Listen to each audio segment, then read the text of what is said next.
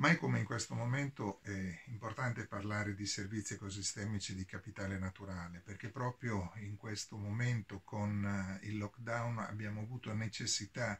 di usufruire del, eh, degli ecosistemi, di fare una passeggiata nel bosco, sul mare, eccetera.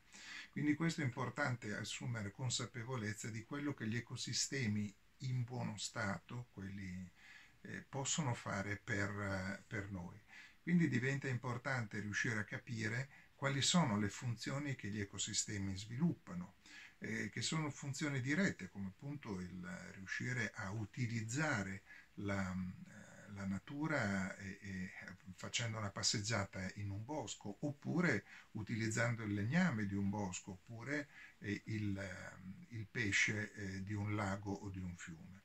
E poi ci sono quelle funzioni di carattere indiretto, cosiddetto indiretto, che sono i servizi ecosistemici di regolazione, cioè ci sono delle, dei meccanismi che permettono agli ecosistemi di funzionare, di funzionare bene, proprio per dare legname, per dare eh, biomassa da uh, cibo e, e, quindi questi servizi ecosistemici sono i cosiddetti eh, servizi eh, di regolazione, cioè la capacità del, degli ecosistemi di fissare anidride carbonica, di agire sul ciclo dell'acqua, quindi eh, quantità di acqua, de, eh, acqua di buona qualità e via dicendo, trattenere il suolo. Quindi eh, diventa estremamente importante che gli ecosistemi insieme funzionino nel miglior modo possibile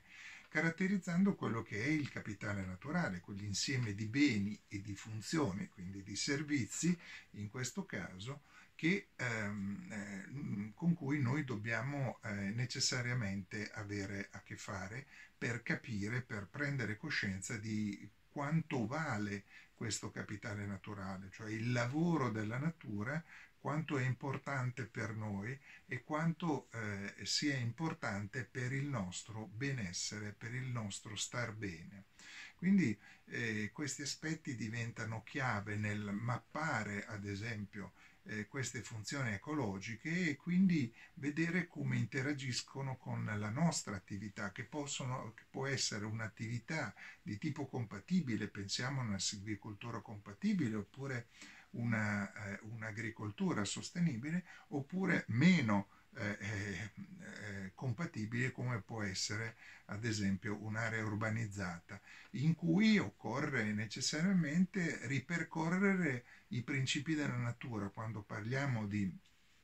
metabolismo urbano, quando parliamo di economia circolare, dobbiamo proprio recuperare questi aspetti in modo tale da eh, rilasciare il minor numero di rifiuti e incamerare la maggiore quantità di energia, essere appunto energetic- progressivamente energeticamente indipendenti perché si possa nel complesso riuscire ad avere una eh, capacità di eh, eh funzionamento armonico eh, con la natura. In questa mm, struttura più ampia, di più area vasta, che è l'infrastruttura verde o un'infrastruttura blu, nel caso ci possa essere un ambiente, un ambiente acquatico. Quindi questi sono gli aspetti importanti con cui noi dobbiamo eh, eh, fare i conti necessariamente nella pianificazione e nella progettazione